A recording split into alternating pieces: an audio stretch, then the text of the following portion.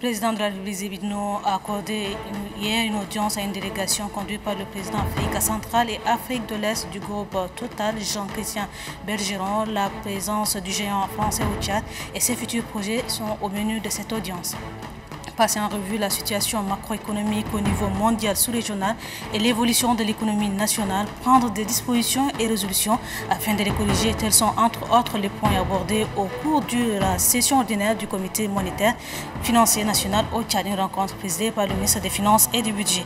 La semaine nationale de la relance économique au Tchad s'éteindra du 7 au 21 septembre prochain. Pour la réussite de cette rencontre, une réunion de concertation a lieu ce matin entre les femmes exerçant dans divers secteurs d'activité. Bonsoir à toutes et à tous et merci de suivre cette session d'information. Au départ de ce journal, la teneur de ce message du président de la République, Idizibitno, adressé euh, à Sa Majesté Philippe de Roi de Belge. Majesté, j'ai l'honneur de vous présenter au nom du peuple tchadien, de son gouvernement et à mon nom personnel mes vives félicitations et mes meilleurs voeux de santé, de paix et de prospérité à l'occasion de la commémoration de la fête nationale de votre beau royaume le 21 juillet 2010. 18, j'ai saisi cette heureuse occasion pour saluer les excellentes relations d'amitié et de coopération qui existent entre le Tchad, mon pays, et le Royaume de Belgique. Aussi voudrais-je réaffirmer à votre Majesté ma volonté d'œuvrer au développement et au progrès de ces relations dans l'intérêt commun de nos deux États. Veuillez agréer, Majesté, les assurances renouvelées de ma très haute considération. Il nos président de la République du Tchad, chef de l'État, chef du gouvernement. Le président de la République a accordé hier en début de soirée une audience à une délégation conduite par le président Afrique centrale et Afrique de l'Est du groupe Total Jean-Christian Bergeron. La présence du géant français au Tchad et ses futurs projets sont au menu de cette audience à laquelle ont assisté les proches collaborateurs du chef de l'État ainsi que le ministre du Pétrole et de l'Énergie, Djibril Noualouali. Leader en matière de commercialisation des produits pétroliers et services associés, Total ne cesse de renforcer sa présence au Tchad. Ses investissements prospèrent, facilitant ainsi son ancrage au plan national. Et les responsables du groupe en sont reconnaissants envers les autorités tchadiennes.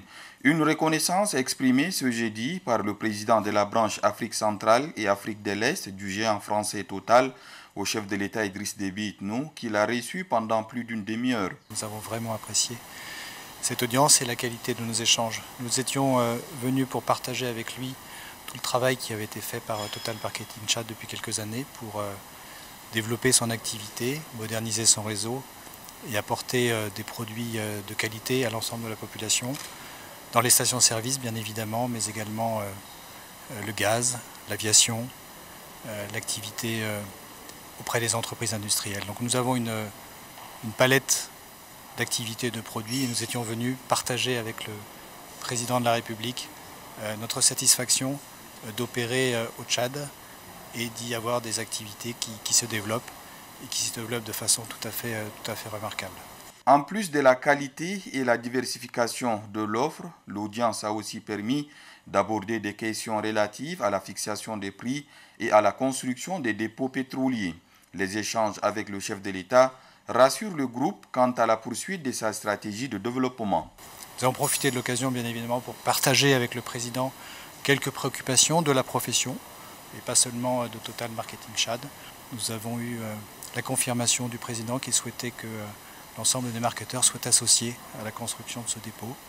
Euh, et nous avons également traité quelques, sujets plus, mineurs pour lesquels le président nous a, rassurés euh, sur euh, la façon dont ces sujets allaient être euh, traités dans le futur. Tout ce que nous lui avons dit, il le maîtrisait déjà parfaitement bien. Implanté au Tchad depuis de longues années, le groupe Total se réjouit de la confiance que lui renouvellent les autorités tchadiennes. Il est appelé par le chef de l'État Idriss Déby Itnou à participer de par sa forte présence au développement économique du Tchad. Le chef de l'État d'Izébitno a effectué cet après-midi une visite inopinée sur le site du chantier de construction de la maison d'arrêt de N'Djamena à Klesoum. C'est pour s'enquérir de l'état d'avancement des travaux. Bâti sur une superficie de 3,5 hectares, la pose de la première pierre de construction de la maison d'arrêt de N'Djamena à Klesoum localité située à une vingtaine de kilomètres à la sortie sud-est de la capitale, a été faite le 4 novembre 2013.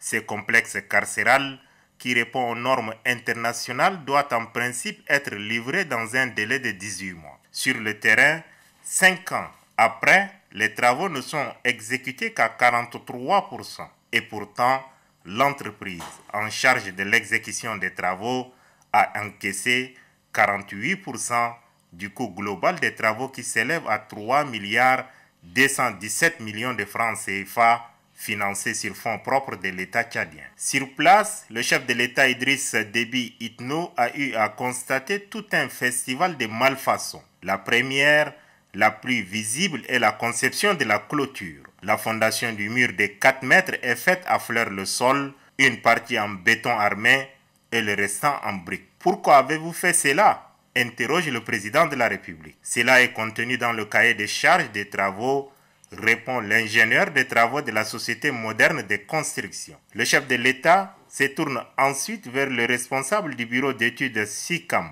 Pourquoi avez-vous laissé faire cette malfaçon? J'avais fait la remarque en son temps, mais cela n'a pas été prise en considération. Je ne suis pas du domaine, mais cette bourde doit être réparée à la charge de l'entreprise, bien sûr, tranche le président de la République, Idriss Déby Itno. Vous avez reçu 48% des 3 milliards 217 millions de francs CFA, montant total des travaux. Vous devez livrer cette maison d'arrêt en 18 mois. Nous sommes à 5 ans. Quel est le problème?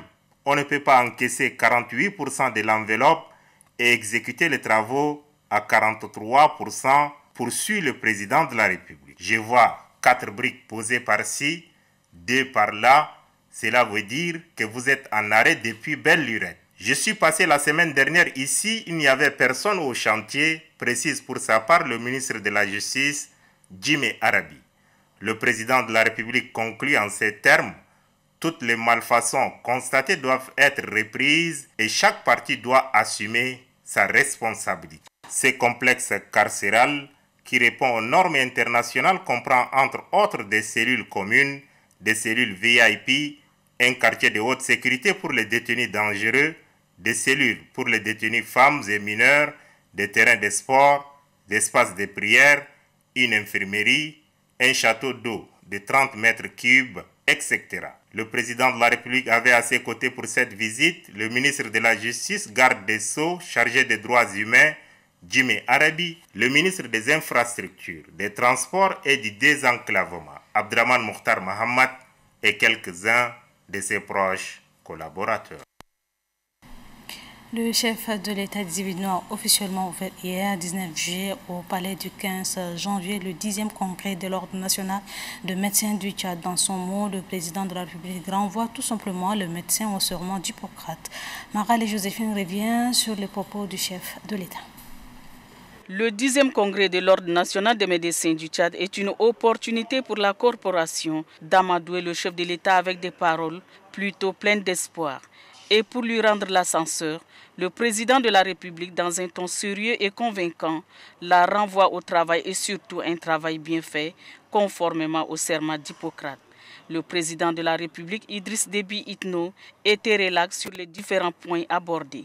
Ayant comme priorité la santé de sa population, le chef de l'État trouve anormal, sinon incompréhensible, que les médecins censés sauver des vies humaines choisissent d'observer la grève en cette période où la population est exposée à toutes sortes de maladies. Pour appuyer ses propos, Idriss Déby Itno, armé de l'air de son État, rappelle aux médecins congressistes que lui ne fera jamais la grève en l'air, mais la fera plutôt au sol. En prenant cet exemple relatif à sa formation professionnelle, le président de la République veut faire savoir aux médecins que leur place n'est pas à la maison, moins encore au quartier, mais dans leur lieu de service, qui est l'hôpital. À cet effet, il demande tout simplement aux médecins de revoir leur position. Une invite que le chef de l'État adresse à cette corporation en vue de redonner sourire ou encore espoir aux patients abandonnés à eux-mêmes sur les lits des hôpitaux.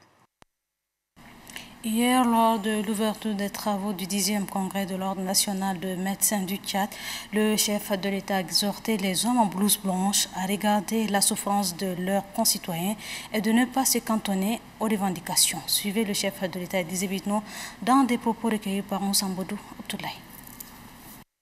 J'ai pris bonne note de votre ardent désir de vous voir doté d'une maison de médecins vous me dites que ça se trouve ailleurs en Afrique. Au Tchad, moi j'ai vu la maison de la femme, la maison des journalistes ou autre, mais je n'ai pas vu la maison des médecins. si telle est votre demande, nous allons inscrire donc ce projet novateur dans notre agenda comme projet prioritaire. Je dis bien comme projet prioritaire les mots forts contenus dans le serment d'Hippocrate que vous avez prêté avant de vous voir conférer le grade de docteur d'État en médecine. Il n'est un secret pour personne que partout, les populations se plaignent continuellement de la mauvaise qualité des prestations de soins dans les structures de santé et cette situation est-elle liée à la qualité de la formation reçue dans les facultés de médecine et des instituts de santé? N'étant pas du domaine, je ne saurais y répondre.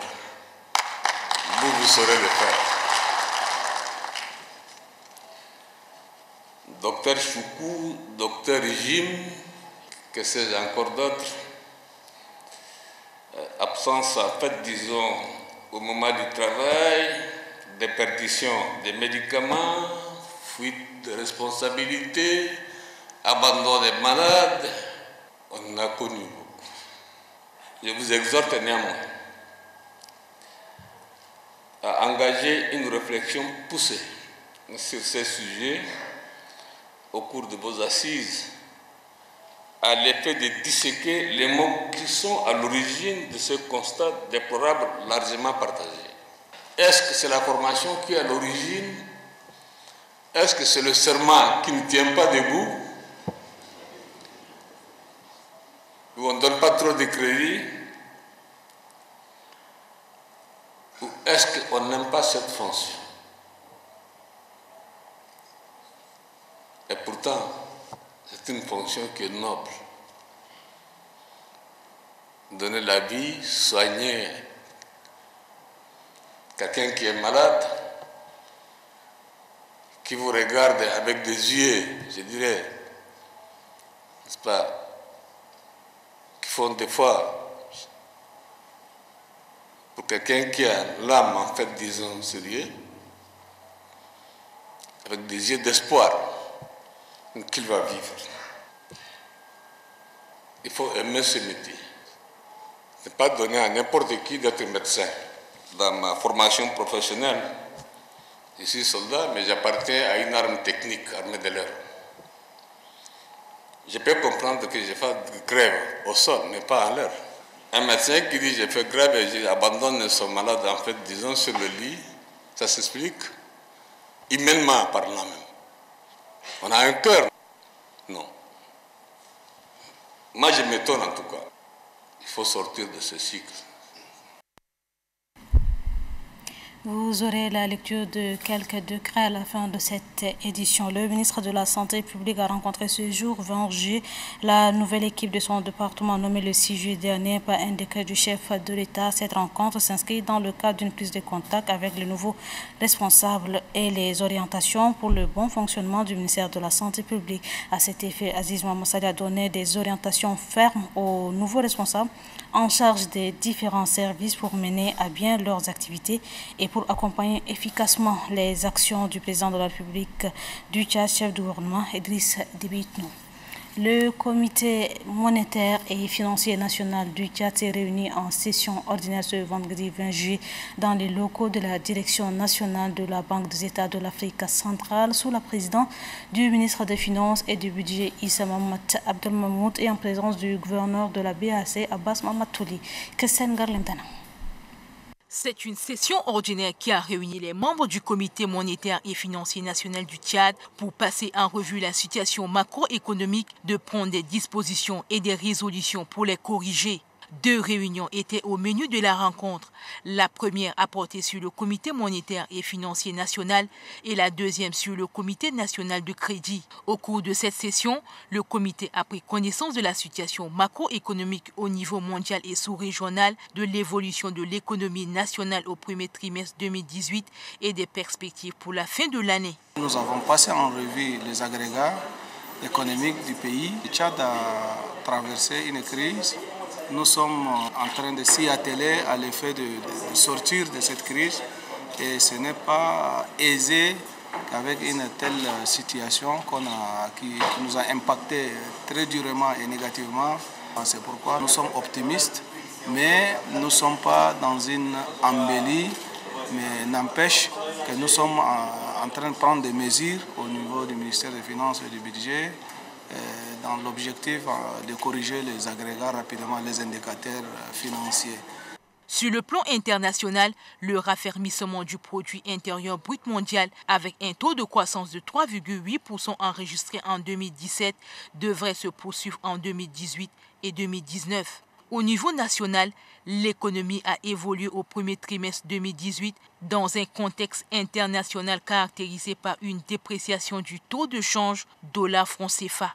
Au sortir de ces assises, le comité va examiner l'évolution du système bancaire tchadien dont le bilan agrégé s'est légèrement contracté de 0,4% au 30 avril 2018.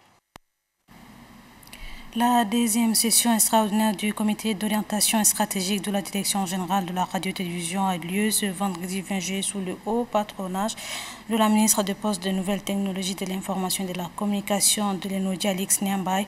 Le budget annuel de la direction générale de la radio-télévision estimé en dépenses et recettes a été examiné et adopté par le membre du conseil d'administration. Ce budget de l'année 2018 est fixé à plus de 7 milliards de francs CFA. Les points relatifs à la session précédente euh, du comité d'orientation ont été aussi évoqués. Cette euh, rencontre a vu la présence du directeur général de la radio et télévision et de son adjoint du conseil à la présidence euh, de la République chargée des médias et de quelques membres du gouvernement. La coordination du cadre national de dialogue politique CNDP réunie en plénière ce jour a composé son bureau comme suit président Mamad Tazen Bada, vice-président Mohamed Amatalabo, rapporteur général Aladoum Djarma Baltazar, rapporteur général adjoint Karam Ali Abel, trésorier général Hamid Mamad Tadalob, trésorier général adjoint Badono Daïgou, chargé de la logistique, Maloum Aboumar, chargé de la logistique, adjoint Abdraman Nadjas conseiller Roma Dumgara Félix Nialbe, Hassan Amata Pacha, N'Djamena Van les co-présidents de séance Hassan Amat Pacha et Al-Hajj Mamat Seyd. Prélude à la Semaine nationale de la relance économique au Tchad qui se tiendra du 17 au 21 septembre prochain, une réunion de concertation entre les femmes exerçant dans divers secteurs d'activité a lieu ce matin à la CCAM. Cette rencontre permettra aux femmes de recenser toutes les difficultés auxquelles elles font face dans l'exercice de leurs activités respectives. Les femmes entrepreneurs et celles qui exercent dans le secteur informel s'active pour les préparatifs de la relance économique au Tchad. À travers cette réunion de concertation, ces femmes ont largement échangé sur les mots qui minent l'entrepreneuriat féminin dans leur pays. Cette rencontre vise non seulement à informer toutes les femmes tchadiennes pour leur participation à ce grand événement, mais aussi de réfléchir sur les enjeux et les défis auxquels fait face l'économie tchadienne. La femme est plus que jamais actrice dans l'économie et le développement de notre nation. Elle occupe une place de choix et doit redoubler d'efforts pour s'affirmer. Pour la vice-présidente du Conseil national des femmes, Amina Kodjana, cette réunion permet de créer un cadre favorable pour la montée en puissance de l'entrepreneuriat féminin et cela nécessite une mobilisation de tous. Les membres de la Fédération des Chinois résidant au Tchad ont fait un don ce matin à la Fondation Grand Cœur. La cérémonie de remise a vu la présence du chargé des affaires à l'ambassade de Chine au Tchad et la secrétaire générale de la dite fondation Abiba Saourba, Abdulhadi Mamassali.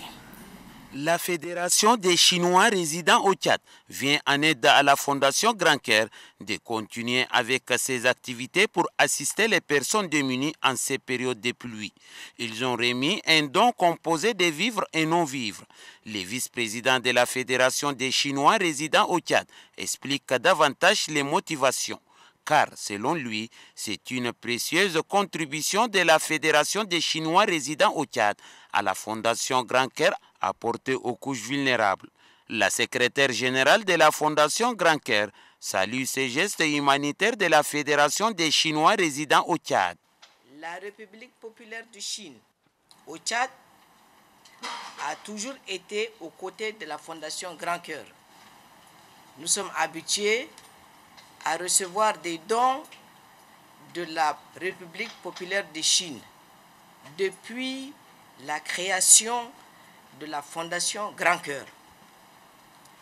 Mais aujourd'hui, c'est pour une première qu'une société civile chinoise, à travers la Fédération des Chinois résidant au Tchad, fait un don à la Fondation c'est une première qu'il faut applaudir.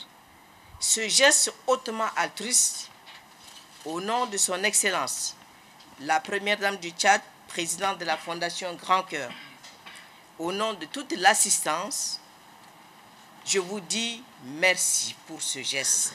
Habiba Saoulba affirme aux membres de la Fédération des Chinois résidant au Tchad que la distribution sera équitablement partagée aux ayants droit.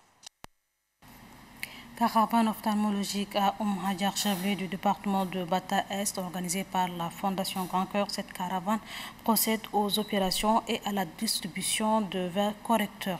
Mohamed Al-Amin. Au total, plus de 270 malades de la cataracte ont été opérés avec succès à la date du 19 juillet 2018. Le docteur Djibrine Derdein, chef d'émission de la dite caravane ophtalmologique, explique les conditions dans lesquelles son équipe a eu à travailler. Ici à Mouhadjar, ce qu'on a constaté, il y a un grand afflux de patients. N'est-ce pas? En deux jours qu'on a pu euh, atteindre l'objectif. Les cas qu'on les a enregistrés, c'est des cataractes matures, et des cataractes avec des cornets saines, qui sont vraiment des personnes nécessiteuses qui viennent n'est-ce pas, de tous les coins de la région. Et là, vraiment, nous sommes très contents. Les activités se sont déroulées dans les, dans les normes. Et euh, là, on a atteint l'objectif. Nous remercions les autorités locales ici. Pour le point focal de la Fondation Grand Cœur, les activités menées au cours de cette caravane sont le prolongement d'une opération organisée au mois d'avril dernier. En avril, nous avons pu consulter 3000 malades. Sur les 3000, on a réussi à opérer 730 la première vague et on a distribué 700 lunettes plus de médicaments. Il nous a été resté encore 500, 500 patients qui demandent à être euh, opérés. Et donc le temps nous a un peu coincé. Et la présidente a pensé encore à nous faire une deuxième caravane pour faire le complément de restant. Parce que nous avons enregistré 500 qu'on n'a pas pu les toucher. Le secrétaire général du département du Bata Est, Abdelaziz Hissen Awam, s'est dit grandement satisfait des résultats de la caravane ophtalmologique organisée par la Fondation Grand Cœur qui a permis à un grand nombre de malades de recouvrer la vue. Les patients opérés ont également laissé éclater leur joie de revoir la lumière du jour, pour certains après 5 à 10 ans de cécité totale. Puis fin hier de la caravane de vaccination de routine intensifiée dans les districts sanitaires de N'Djamena Centre. Cette caravane a été organisée par l'association La Plume pour la culture et le développement, le Conseil supérieur des affaires islamiques en partenariat avec l'association Christian Apolline Gani plus de 3000 femmes et enfants ont été pris en charge par l'association coétienne des étudiants en médecine et tchadiens à travers la caravane de la vaccination de routine intensifiée organisée en Djamena du 16 juillet dernier au 20 juillet 2018. Ces étudiants coétiens disent avoir, en plus de la vaccination de routine intensifiée, distribué 1200 moustiquaires et plus de 1400 kits scolaires aux élèves le vice-président du Conseil supérieur des affaires islamiques se réjouit de la présence de l'association coétienne au Tchad. nous le remercions vivement et nous demandons de venir dans notre pays avec d'autres caravanes et aussi d'autres associations de bienfaisants pour faire du bien à notre pays. Les membres du Conseil supérieur des affaires islamiques se disent fiers du travail abattu. Ils implorent Dieu le Tout-Puissant de bénir le déplacement des membres de l'association coïtienne des étudiants en médecine. Aussi, ils expriment leur reconnaissance à l'association coïtienne pour son soutien en faveur des couches vulnérables. Vulgariser le nouveau décret fixant le prix de gaz butin, le sujet au centre d'un point de presse fait ce matin par le maire de la commune du 5e arrondissement, Mohamed Salim Moussa. C'était en présence de chefs de carré et délégués de quartier de sa circonscription administrative. Suivez un extrait de ses propos. Il y a quelques jours, le gouvernement a mis en vigueur un arrêté fixant les prix des ventes du gaz butane et quitte gaz sur l'ensemble du territoire national bouteille de 3 kg à 1000 francs, bouteille de 6 kg à 2000 francs, bouteille de 12 kg à 6000 francs, bouteille de 25 kg à 11 935 francs, bouteille de 32 kg à 15 250 francs. Désormais, vous êtes déjà informé sur les tarifs officiels actuels des gaz mais il y aurait encore des commerçants qui vont continuer de les vendre au prix ancien. C'est pourquoi, en tant que consommateur, vous êtes prié de nous informer ou contacter immédiatement si ce cas se présente. Anjari Carré 39, dans la commune du 8e arrondissement, de vendeurs de débris de pièces de fer ont obstrué les voies publiques, surtout l'axe derrière la maison de la femme, menant vers l'école de formation judiciaire. Constatant cet état de fait, le maire premier adjoint Atidiani Abdourman Nouren est descendu sur le terrain. Suleiman Diabo. Installé depuis bientôt 5 ans, selon le chef de carré numéro 39 du quartier Ndjari, dans le 8e arrondissement, les revendeurs de ces débris des pièces de fer ont bloqué les canalisations des eaux pluviales. Non seulement ces ferrailles empêchent le drainage des eaux de pluie, elles rendent insalubres les devantures des édifices publics tels que le chantier de construction du Centre culturel pour la recherche et les études africaines et arabes, du ministère de l'Agriculture et de l'école de formation judiciaire. C'est même un danger public reconnaît le chef de carré numéro 39. L'existence de ces déchets de ferraille, ça cause vraiment énorme des problèmes, des problèmes très énormes. Même moi, actuellement, dans mon quartier, vous voyez, avec la saison pluvieuse, avec l'inondation, on n'arrive même pas à faire une canalisation. Après le palais, c'est cette route que les gens empruntent. S'il y a un blocage de l'autre côté, tout le monde passe par là. Ça cache beaucoup de choses.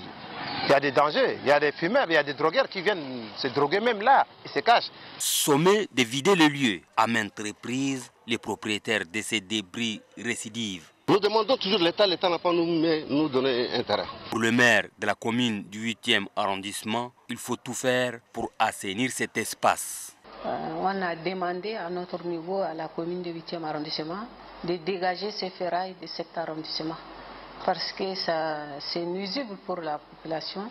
Le maire premier adjoint de la ville d'Indjamena, Altidjani Abdurrahman Nouren, s'est dit scandalisé par ce comportement incivique. Cette manière de faire entrave d'une manière énorme la canalisation des eaux, l'environnement, la visibilité la salubrité de la ville sont mises en cause. Nous avons décidé alors, demain, à partir de 6 heures, nous allons commencer à enlever ces ordures et il va payer certainement les charges irrelatives. Le maire premier adjoint a saisi l'occasion pour inviter les services compétents à déguerpir tous ceux qui occupent illégalement les voies publiques. Au quartier Goudji, ce sont les déchets d'usines industrielles qui sont déposés non loin des routes bitumées. Campagne de sensibilisation de forces vives des communes sur les résolutions du Forum national inclusif et l'impact de la 4 République sur le développement national. Cette campagne vise à sensibiliser les forces vives de la commune du 4e, 8e et 10e arrondissement. Amat. Le collectif des organisations de la société civile et les associations de jeunes Tchad pour tous mènent une vaste campagne de citoyenneté. L'équipe du collectif que dirige Faisal Hissène Hassan Abakar est allée sensibiliser les forces vives des communes du 4e, 8e et 10e arrondissement de la capitale sur les résolutions du Forum national inclusif et l'impact de la 4e République sur le développement national. Notre action de sensibilisation envers vous, les forces vives, fait appel à une prise de conscience générale des changements qui connaître le Tchad, nous, en tant qu'acteurs de la société civile, soucieux de la paix et de l'unité nationale, estimons qu'il est important que toutes les forces vives et leurs bases respectives soient au courant des résolutions du Forum national inclusif. Les différents intervenants qui se sont succédés ont salué cette initiative du collectif car elle contribue au bien-être de la population. Ces derniers affirment qu'ils soutiennent toute action qui œuvre à accompagner le gouvernement tchadien dans sa politique pour l'émergence de la nation tchadienne. Clôture hier soir de l'atelier de stabilisation du bassin du lac Tchad, trois jours ont permis aux participants de se pencher sur le mécanisme de réinsertion des populations victimes et associées à Boko Haram. C'est le commandant adjoint de la force mixte de la CBLT, Seydou Badji, qui a mis un terme aux travaux. Youssouf Adroumanali. Les pays membres de la Commission du bassin du lac Tchad sont à la recherche d'une stratégie de mise en œuvre d'un plan de la stabilisation de la région face à l'agitation de la secte Boko Haram. C'est l'objectif de cet atelier qui a regroupé les experts, les partenaires, les décideurs politiques, secrétaires judiciaires de la CBLT en vue de favoriser la réinsertion et la réhabilitation des populations victimes de la barbarie. La représentante de la direction exécutive du comité contre le terrorisme des Nations Unies, Lo Kelly, a indiqué que son organisation est disposée à accompagner la région. Pour le gouverneur de la région du lac, le bassin du lac Tchad mérite un regard particulier.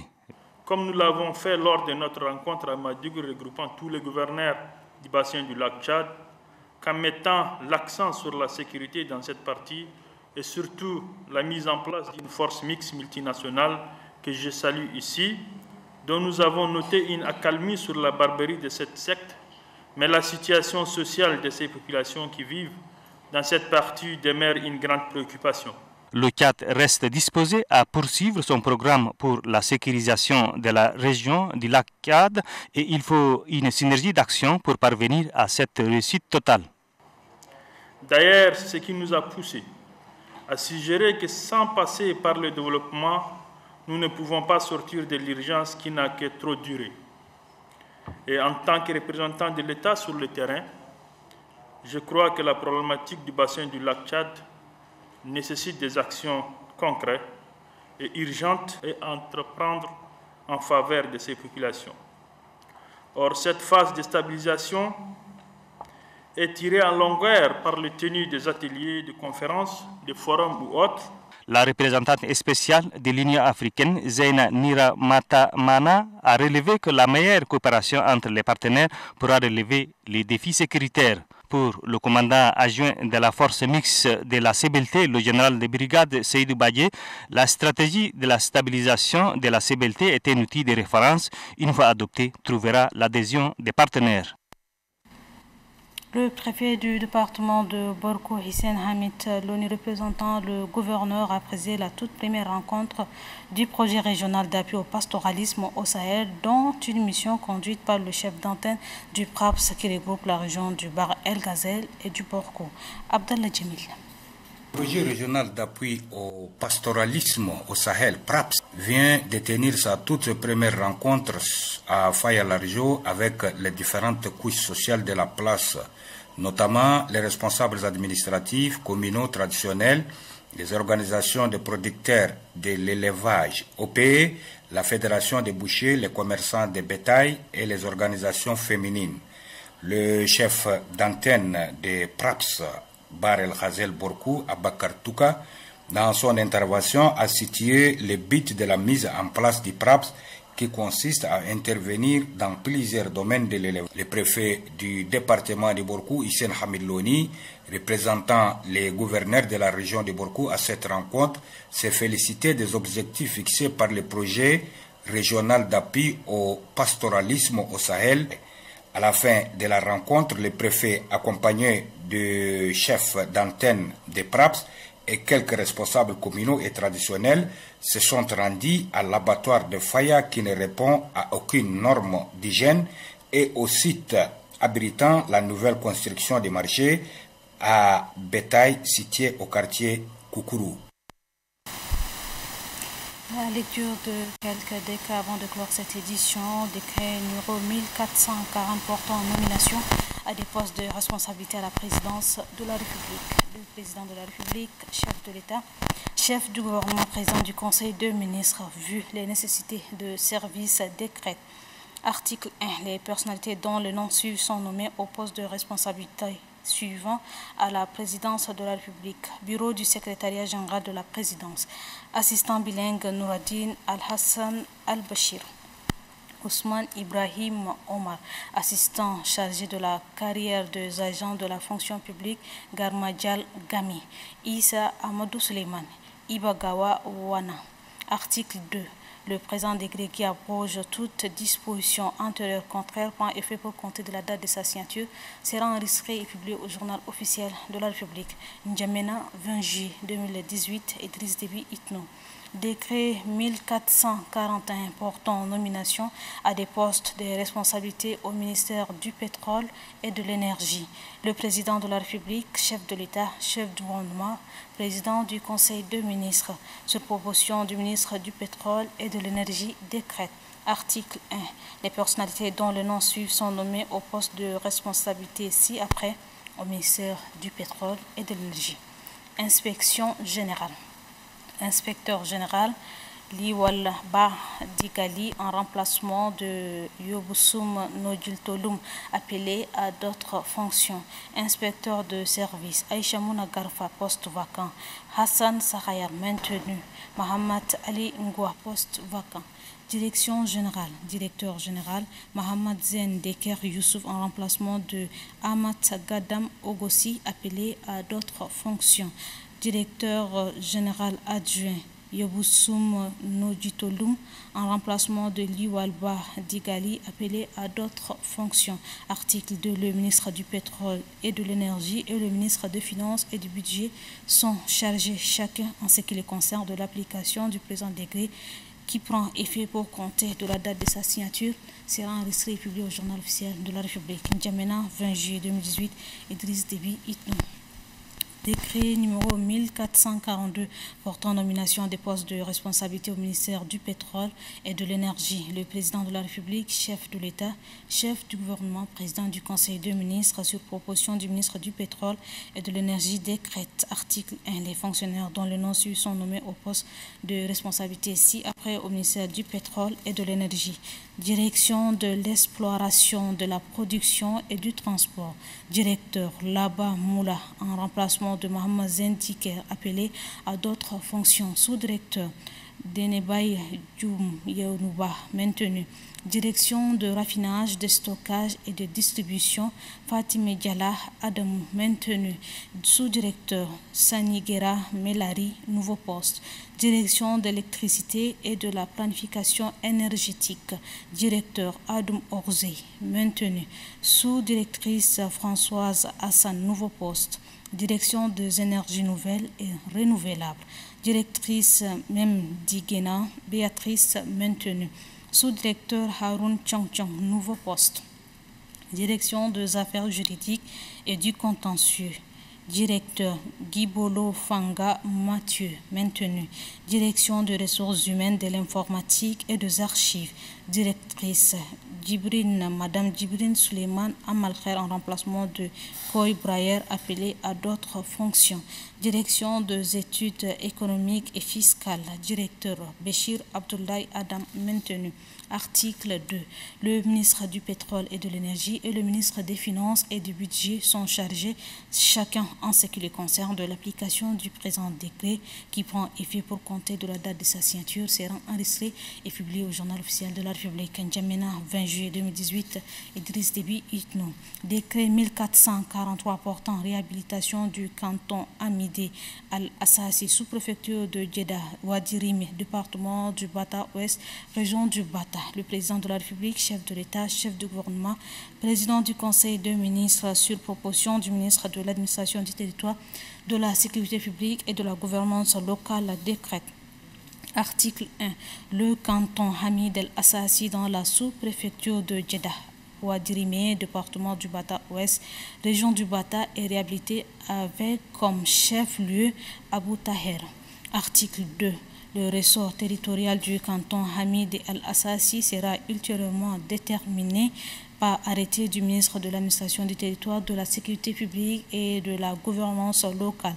Article 3. Le présent décret qui prend effet pour compter de la date de sa signature sera enregistré et publié au journal officiel de la République. N'Djamena 20 juillet 2018, Idriss Déby Itno.